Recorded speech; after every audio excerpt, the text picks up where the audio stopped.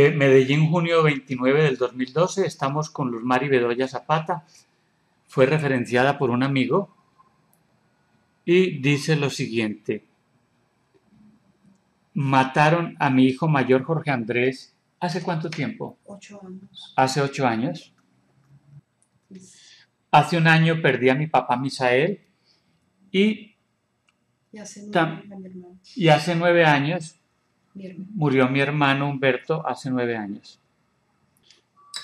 Básicamente yo pienso que eso es lo importante. Lo otro que Luz Mari escribió, tener conocimiento de mi yo interno, superar tristeza, superar eventos catastróficos pasados que marcan mi presente, reconocer mi pasado. Eso era pura carreta que Luz Mari estaba escribiendo ahí, dándole vueltas. No se atrevía a ponerlo de Jorge Andrés. Entonces vamos a proceder a la terapia. Luz Mari, cierra los ojos. Afloja tu cuerpo, suéltalo. Permítele que encuentre la posición más cómoda en este sillón. Voy a indicarte cómo respirar. Vamos a hacer algo que en medicina se llama hiperventilación. Es una técnica de respirar para aumentar el volumen de aire en los pulmones. Cierra los ojos al aumentar el aire en los pulmones, aumenta también la transferencia de oxígeno a tu sangre.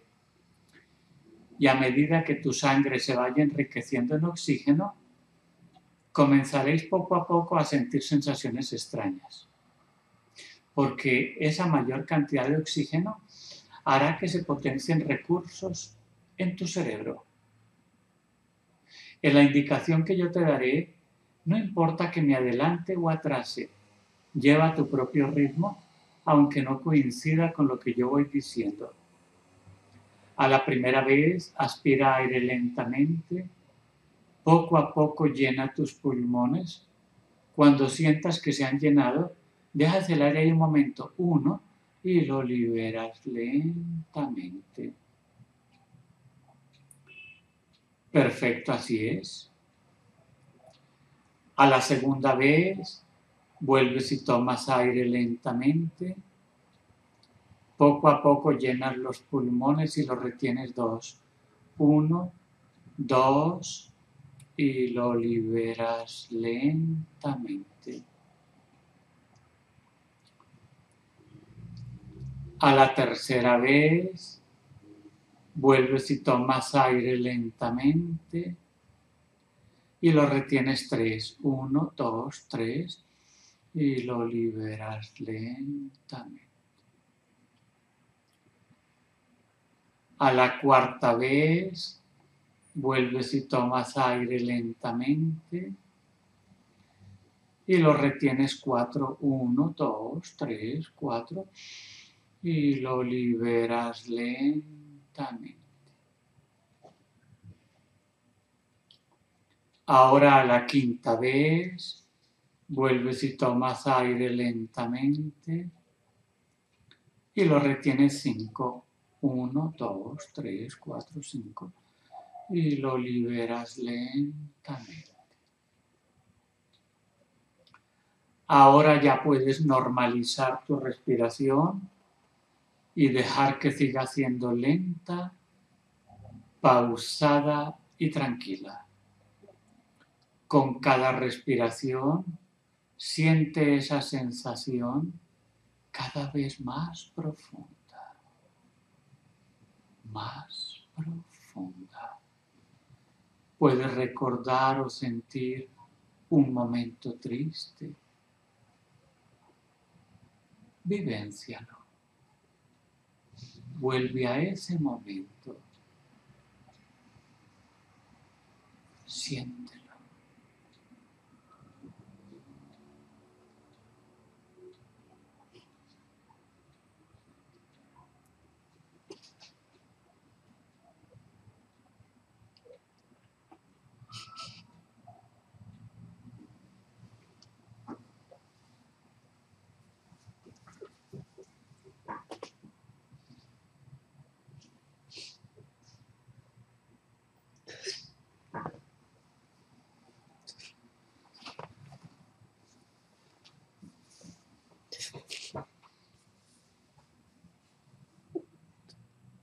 ¿Qué está sucediendo? Estoy en el hospital reconociendo a mi hijo. Reconociendo el cuerpo de De tu hijo. hijo. Porque ese no es tu hijo, ese es el cuerpo que tenía tu hijo. Eso es como ir a una lavandería a reconocer el vestido que yo tenía ayer. El vestido. No son sus pies, son sus deditos. Son los dedos de sus pies. Es él. Es él. Es mi hijo. Ese es el cuerpo de tu hijo, ese Es es mi cierto. hijo. Es mi hijo. Es mi teletubby, es mi tele. Es mi tele. Es mi hijo. Es mi niño el que está tirado ahí en ese suelo. Es mi, es mi bebé. Si el universo lo permite, Jorge Andrés se puede comunicar espiritualmente contigo, mentalmente. Pregúntale a Jorge Andrés que si él está tirado en ese piso. Y la respuesta, si el universo lo permite, llega a tu mente. Pregúntale que si él está tirado ahí en el piso. Tú estás tirado ahí en el piso, hijo.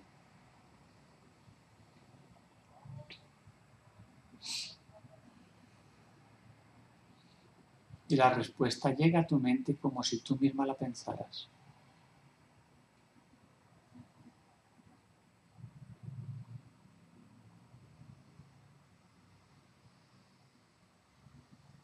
¿Qué te dijo? Te escucho. Es que no habla porque él no tiene cuerdas vocales.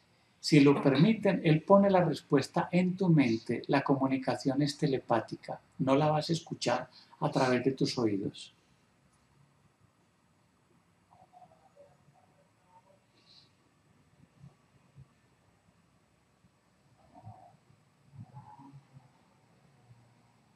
Es lo primero que llega a tu mente.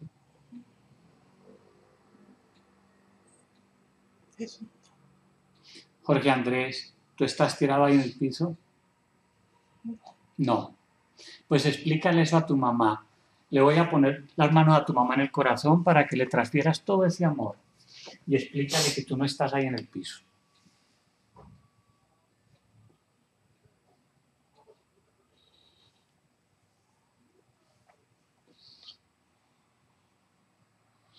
Jorge Andrés, perdonaste a los que mataron tu cuerpo. Sí, Pues dile también eso a tu mamá para que ella también los perdone.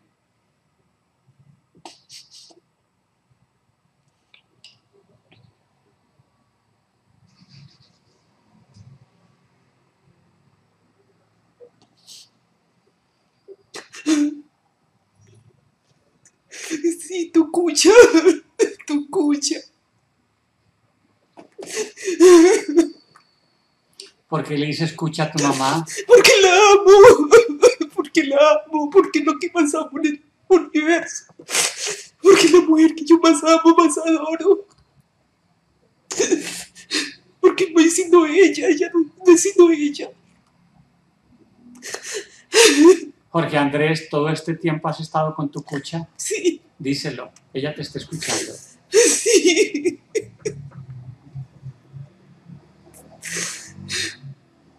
Él me ha visto. Ella me ha visto. Ella me siente. Ujú, Ella me percibe siempre. ujú. Y en las fechas importantes ella sabe que yo estoy ahí. Ajá. Y me le presento en sueños. Pues necesitamos que tu cucha salga hoy de aquí plena, llena de alegría, de felicidad, de saber que tú sigues vivo en otra dimensión, en otra dimensión a la que ella también va a ir. Tú estabas simplemente primero en la fila, pero en la fila también está tu cucha, explícaselo. Y que en cierto momento, como van llamando por orden de la fila, a tu cucha le va a tocar.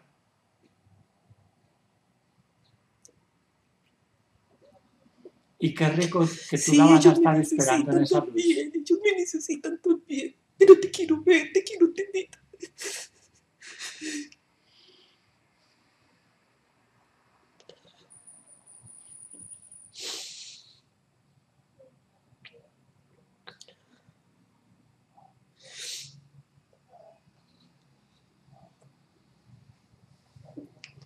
sola. Quien te acompañó ese día ahí?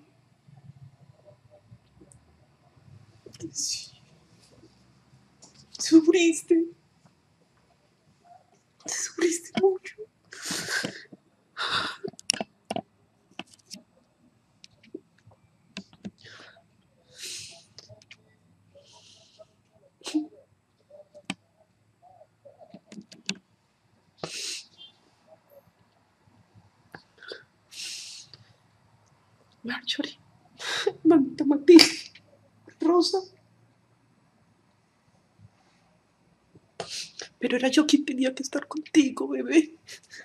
Era yo. Era yo. Era yo.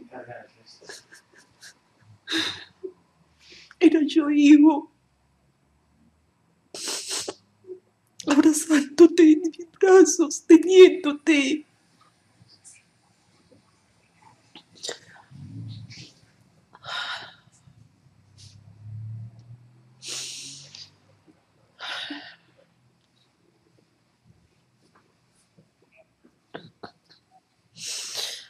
Todo ha sido tan difícil sin ti.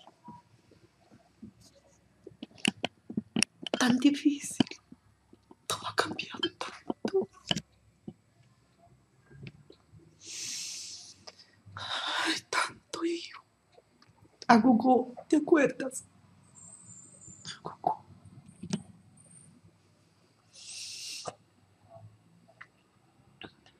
Gugu. Jorge Andrés, tu mamá va al cementerio. Sí. Se deprime cada vez que no puede ir. ¿Y tú estás allá? No, pero ella siempre dice que ya está lo que queda de lo que tanto ama. Ella sabe que no estoy allá y ella lo sabe. Ah, bueno. Pues Pero trata de convencerla de que no lo vuelva a hacer. Explícale que tú no estás allá. Yo sé que viene el domingo para casa. Yo sé que viene porque le van a celebrar el cumpleaños. Y de pasada ella pide que pasen allí a llevar flores. Mis hermanitos y mi papá la van a llevar a almorzar y ella siempre pasa. Porque si ella no pasa, no se deprime. Y yo ya se lo he dicho a ella mucho, que yo no estoy allá. Ujú. Pues hoy la vamos a convencer entre tú Ella sabe que yo, para lo que nací, ya estoy. Ella quería lo mejor para mí siempre. Y ella me decía que ella lo que soñaba era que yo consiguiera lo mejor en la vida. Y yo ya le dije a ella en un sueño que yo ya tenía lo que quería, para lo que yo nací. Yo ya había querido lo que yo nací, para lo que nací.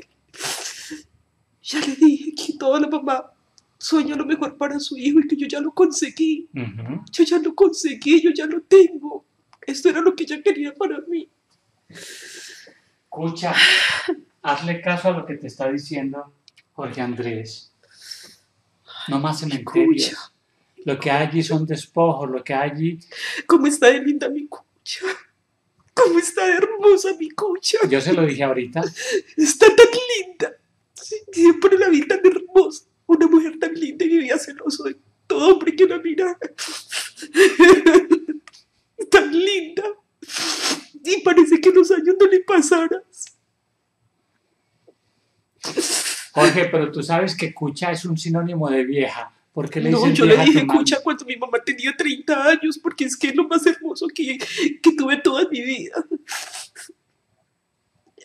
Entonces- Ella me tuvo muy sardina, ella me tuvo como casi una niña, y entonces crecimos juntos y aprendimos juntos.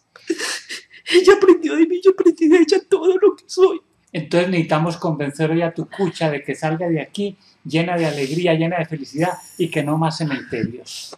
Que ya no tiene por qué ir a ver. Ella sabe, ella sabe que Jorge, que Lina, Marcela y yo le son, le están dando muchas alegrías. Ella sabe que por ellos tiene que vivir y ser feliz. Ella sabe que por ellos tiene que dejar de llorar tanto. Ujú. Pues hoy la vamos a convencer entre tú y yo. Y aprovecha y mándale algún mensaje. No sé si tú tienes hermanita o hermano. Tengo una hermanita vino tinto. Una hermanita, le dices vino tinto porque Sí, porque cuando nació las fotos que mi mamá me mostró era una, era una gorda rojita, rojita. Y ella nunca me perdonaba que yo le dijera vino tinto y que cuando ella creciera yo iba a ser cirujano plástico para cambiar el color de la piel. Pero es una negra hermosa, es igualita a mi mamá y tiene un color de piel divino. Jorge, Yo- tú, tú le tienes apodo a tu mamá, la cucha, le tienes apodo a tu hermanita, la vino tinto, y el tuyo cuál es? Teletubby y ella me decía gogo cuando estaba chiquito. Y cuando yo ya crecí le dije que no me dijera así porque me daba pena con las compañeritas del colegio. Y te lo tuve, no te daba pena. No porque eso me lo pusieron los amigos de la calle. Y entonces yo me quedé como tele. Y yo tenía muchos apodos. Porque los amigos me decían hasta culo de Renault. Culo de Renault, ¿por sí, qué? porque yo tenía un buen cuerpo, una buena nalga. Y hasta mi hermanita debía celosa de eso. Y mi hermanito le decimos Pinky. ¿Por qué? Ah, porque el chiquitico le compró a mi mamá un vestido amarillito y parecía un pollito. Ah, no, mi tía, mi tía le compró un vestido y ese día ella le puso Pinky y así se quedó Pinky. Y está muy bien. Mi mamá hizo muy buen papel, Eh, Jorge muy buen Andrés, papel con él. Jorge Andrés, tú mencionas tu mamá, tu mamá, tu mamá, y veo Ah, que no mencionas a tu papá. tu Ah, papá. mi cucho. Mi cucho. Yo le decía a él que era una figurita escasa porque cuando era joven contaba tantas anécdotas y era increíble que mi papá tan serio, tan señor, hubiera hecho tantas locuras de joven. Ah, mi cucho. Y tu cucho vive con tu cucha. Sí, sí, han tenido unas crisis muy difíciles, pero ahí están. Ahí están. ¿Qué razón le quiere mandar hoy a tu cucho? Que está con Marjorie. Que estás con Marjorie. con Marjorie y que y que lo ama tanto, tanto, tanto, tanto y que siempre se sintió tan orgulloso de su cucho, de su cucho intelectual. Jorge, Y que esa canción, que se acuerde que ya se la han colocado mucho, él sabe qué canción. Jorge, ¿quién es Marjorie? Mi hermanita, la hija mayor de mi papá, Ah, ya entiendo. es que Marjorie, mi hermanita, murió cuando tenía 18 años. Pero tu hermanita no es hija de tu cucha. No, es que mi cucha, es que mi cucha es una berraca, mi cucha le ayudó a mi papá a criar tres hijos de él. Es que mi cucha es una niña, mi papá ya es un señor. Y, y mi cucha era una niña cuando cogió esos tres hijos de mi papá y ya los convirtió a dos en unos señores. Y, y Marjorie que está conmigo aquí, Ya entendí. es que mi cucha es una berraca. Pues convéncela de eso. Porque ella tiene que salir hoy de aquí, de este consultorio, plena, radiante de amor, de alegría, de felicidad. De saber que ya tú te graduaste, que ya estás en la dimensión que te estaba esperando, que estás en la dimensión a la que te correspondía ir, que ya perdonaste a los que mataron tu cuerpo físico. Entonces, necesitamos convencer a esa cucha barraca tuya de que se llene hoy de muchísima alegría y que no más cementerios, que tú no estás allá, que no vaya a perder tiempo. Ay, pero es que sí es difícil, ¿no ve que es que ella llama florecitas y le parece que todo le queda tan bonito? Pero ya no llora, ya no llora como lloraba, No, ya entonces, no llora, ya no llora como lloraba ya ella. Se me está encerrando a veces es a llorar solita. Jorge, esas flores que te las ponga en tu casa en un florero para que ella las disfrute y cuando a las flores te recuerde, pero no haya en una manga o en una sepultura o en un sepulcro. o yo cucha, o yo cucha. Ay, Cucha, usted está tan linda, Cucha. Sí, mañana cumpleaños, hijo. Sí, mañana. Qué rico que le diste hoy este regalo de cumpleaños a tu mamá, esta comunicación. Ay, algo que te extraño tanto. Porque esta fecha no se le va a olvidar porque la va a recordar junto con el cumpleaños. El cumpleaños en el cual su vida cambió de tristeza a alegría, a felicidad, a saber que ya te graduaste como espíritu.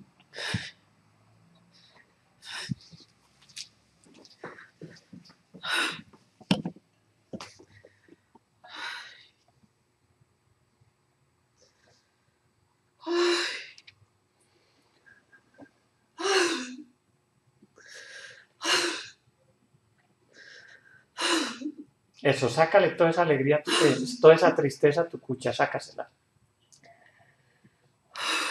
Y llénala de alegría.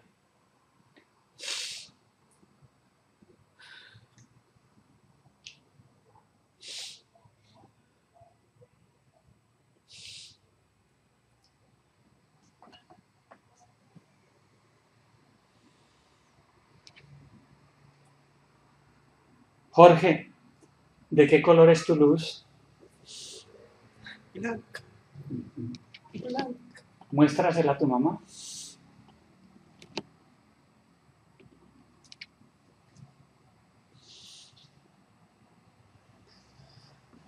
Brillante, brillante, brillante.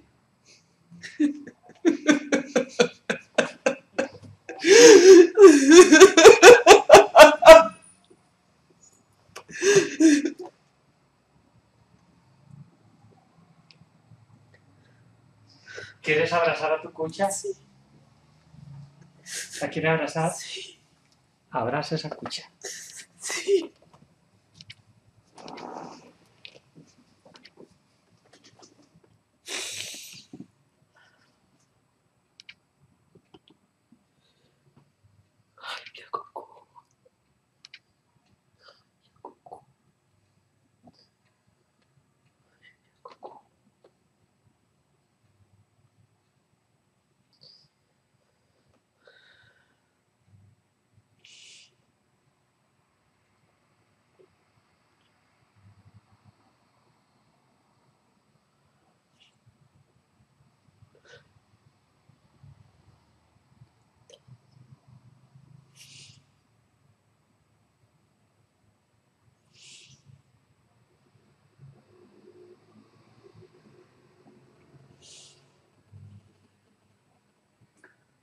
Jorge, para que otras personas vean que uno no muere ni está en los cementerios, ¿tú permites compartir esta experiencia? Sí, Bien. Ahora le haré la misma pregunta a tu mamá fuera de la hipnosis. Pero muy rico que tú lo permitas porque va a servir de ejemplo a mucha gente. Yo estoy grabando una película. ¿Qué mensaje le quisieras enviar a la gente que va a ver esta película?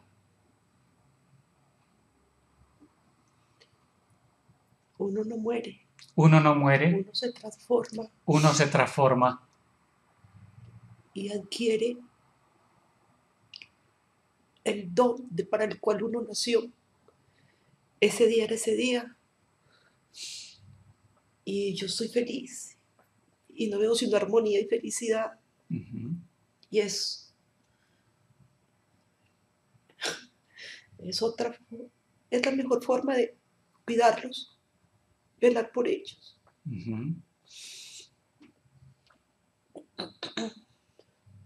Estar pendiente de todos, de todos. Mis tías, mi abuelita. Yo estuve pendiente de mi abuelito y yo lo acompañé ese día. Mi abuelito cuando se acostó a dormir estaba conmigo, él no estaba solo. Él estaba conmigo, yo estaba con él. Ah, ya. Y Teto, Teto Ah. también estaba con él en ese momento. Estábamos acompañando al abuelito. Eh, Jorge, estás hablando de tu abuelo Misael. Sí, mi, mi pito, pito, mi Mm, pito. ya. Es que yo no tenía sino mi pito. ¿Y tu tío Humberto? Teto, sí, Teto. Es que así le decía a mi mamá él cuando él estaba chiquita. Ajá. Teto, Teto. Y también está allí contigo en la luz. Sí, él está conmigo. Él está conmigo, pero es que ese día estaba conmigo ahí al ladito de la cama de mi abuelito. Listo. Muy bueno para que así tu mamá también esté tranquila por ese lado. Pero es que mi mamá con mi teto, con teto y con mi papito sabía, con mi papito más que todo sabía que, que iba a estar tranquila, porque, ay no, es que ella fue muy buena con mi papá, con mi papito. Ella le corrió mucho, ya sabía que, ella, que él estaba muy enfermito. Y Teto, Teto estaba conmigo ese día que yo lo estaba cuidando.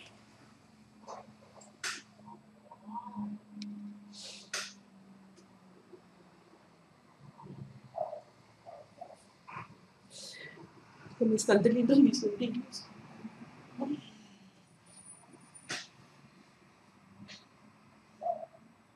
No sé. Jorge Andrés, ella, no sé. Yo estoy viendo ya tu cucha mucho más tranquila. Ah, es que cuando yo le hablo a ella y la abrazo, ella se tranquiliza.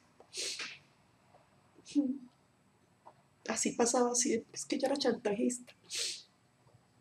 Los hijos le teníamos que abrazar y darle picos para que ella se alegrara.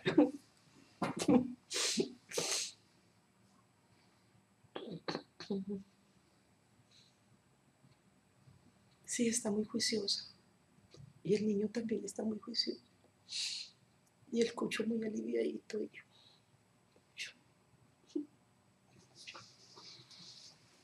Sí, tomando tinto como todo el día, como siempre.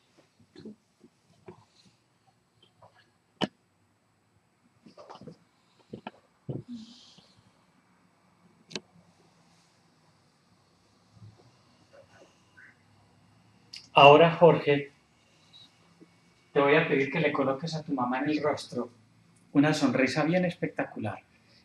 Esa cara de tristeza que tenía, hoy la tenemos que maquillar y cambiar. Necesito que tú le hagas a tu mami una cirugía estética espiritual. Que le pongas una sonrisa bien, bien especial.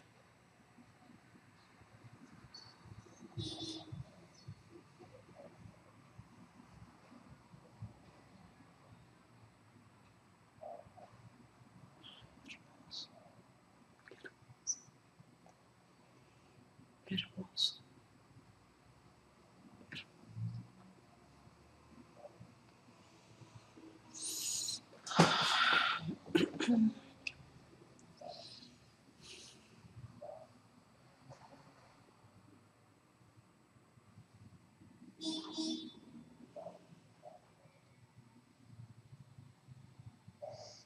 Listo, lo lograste, ya la tiene.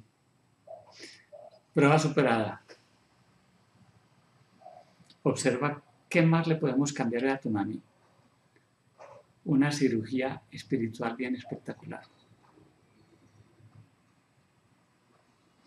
Como decimos aquí en la televisión colombiana, cambio extremo.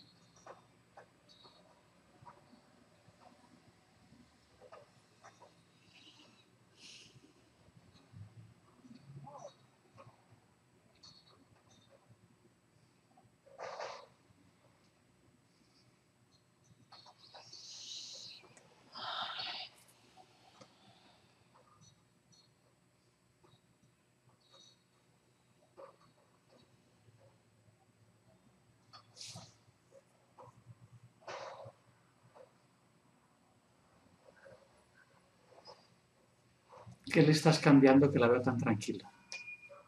No, le estoy hablando de todas las sobrinitas y de las primitas.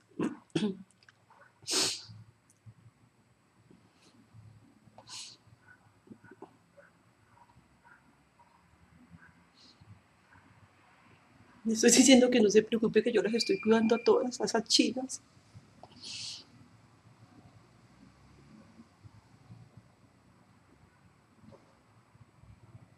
Y también sé que mi tío lo remitieron, pero que por allá va a estar muy bien, a Tunja.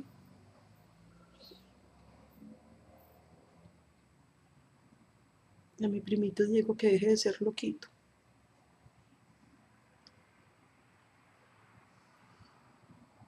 Y que el bebé está muy lindo, que, que el niño es muy lindo.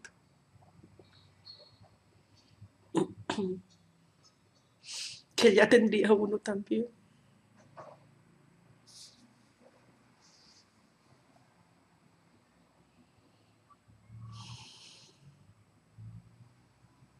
Ay, mi hijo tiene mucho trabajo cuidando tanta gente.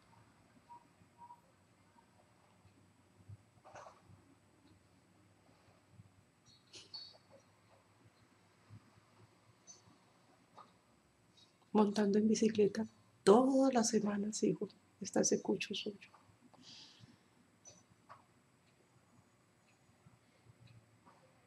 Sí, viendo televisión todo el día.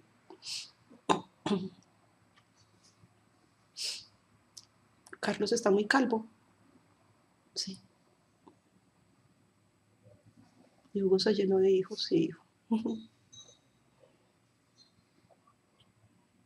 Sí, hijo va a ser una excelente médica, Un gran periodista.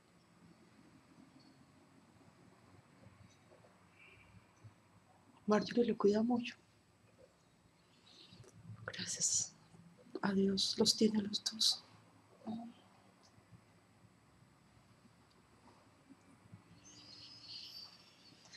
Ay, hijo. Ay, hijo mío.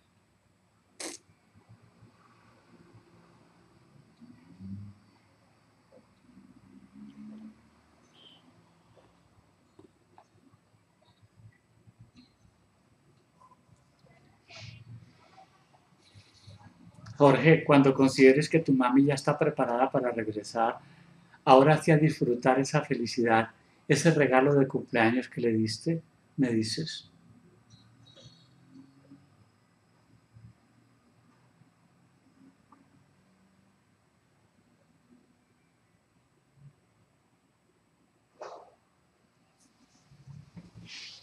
Ella está lista, pero como es tan egoísta no me quiere dejar ir. Sí.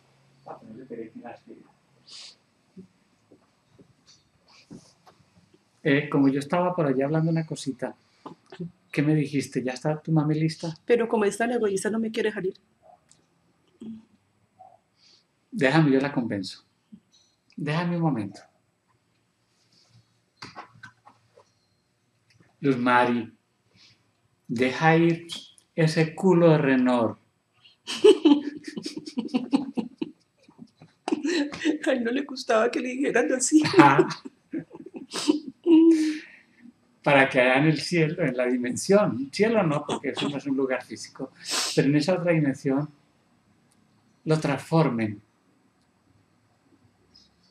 en, ¿qué dijera yo? En motor de Volkswagen.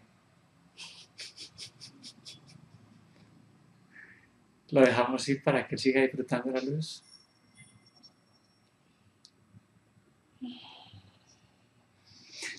Te voy a contar la historia de una niña que tenía una calandria en una jaula de oro. Y todos los días la niña iba y le llevaba el plátano, el agua a la calandria. Y era una jaula de oro, espectacular. Y ella creía que la calandria cantaba, hasta que un día, cuando oyó cantar una calandria en el bosque, se dio cuenta de que el canto era diferente y entendió que la calandria que ella tenía en la jaula de oro estaba era llorando. Pues decidió abrir la jaula y la calandria salió y voló hacia la libertad. Y ocasionalmente, a veces, viene la calandria y se posa en el balcón de la alcoba de la niña ahora hacia cantarle. Pues hoy puedes abrir la jaula de tu corazón para que ese culo de Renault siga su proceso hacia la luz.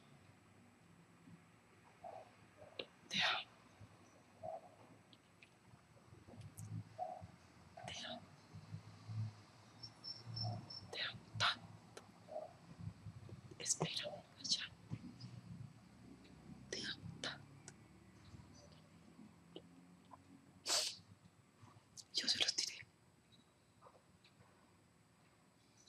Se pondrá muy feliz. Yo se los diré a tu cucho, a tu vino y a tu Kiki, que los amas mucho.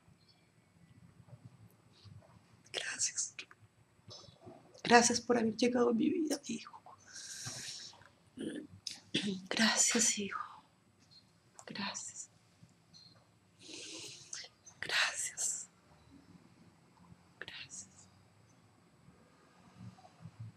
Jorge, no te vayas sin despedirte de mí también.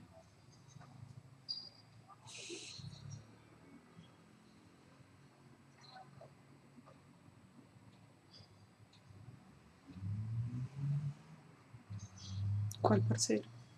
¿No? ¿Ya te vas?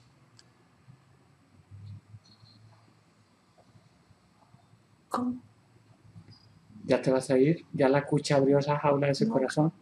Sí, pero gracias, parcero. Que gracias, parcero. Gracias, parcero. gracias, que Te amo. Te amo. Te amo. Le está diciendo gracias a un parcero que vino con la cucha acompañarla. Y Jorge conoce a ese parcero y le está dando las gracias.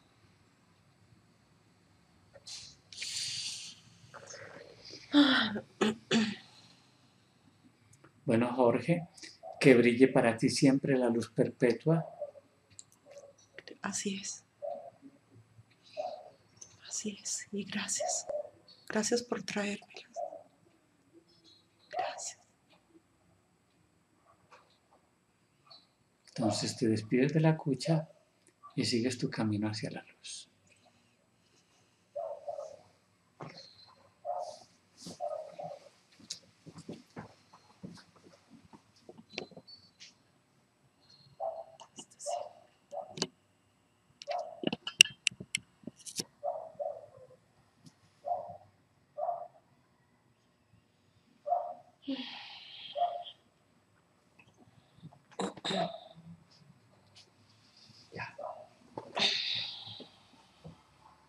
Se fue? Sí. Ahora, Cucha, prepárate que vamos a regresar. Vienes llena de regalos. El regalo más grande que te pudieron haber dado hoy para tu cumpleaños. Sí. Y voy con muchos regalos para mis hijos. Para el papá de mis hijos, de mis hijos, para mis hermanas. Entonces. Voy a contar de una a cinco. Con cada número irá regresando lentamente al lugar en el que estamos a tu cuerpo. Al llegar a cinco, despertarás plena de alegría, rebosante de felicidad. Cada noche al acostarte dormirás fácil y profunda hasta el otro día. Y cada día al despertar va a despertar la cucha más feliz del universo. Entonces, cucha, borra esa palabra cementerio de tu mente que no la necesitas. Y las flores en la sala de tu casa, donde las veamos.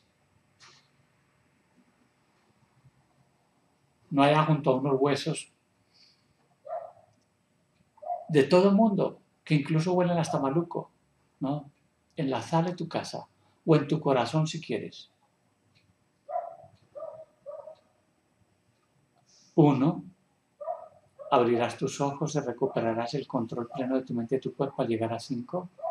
Dos, te sientes livianita, livianita, como si hubieras sacado un taco que te oprimía el alma y ahora te sientes libre, como flotando. Tres, sigue regresando. No conoces el universo, otra cucha más feliz que tú. Cuatro, sigue regresando. Saca de ti cualquier cansancio o dolor que hubiere. Ya no lo necesitas. Fuera. Adiós. Y donde estaba la tristeza, ahora está todo rebosante de felicidad, de alegría. Preparada. Cinco, despierta.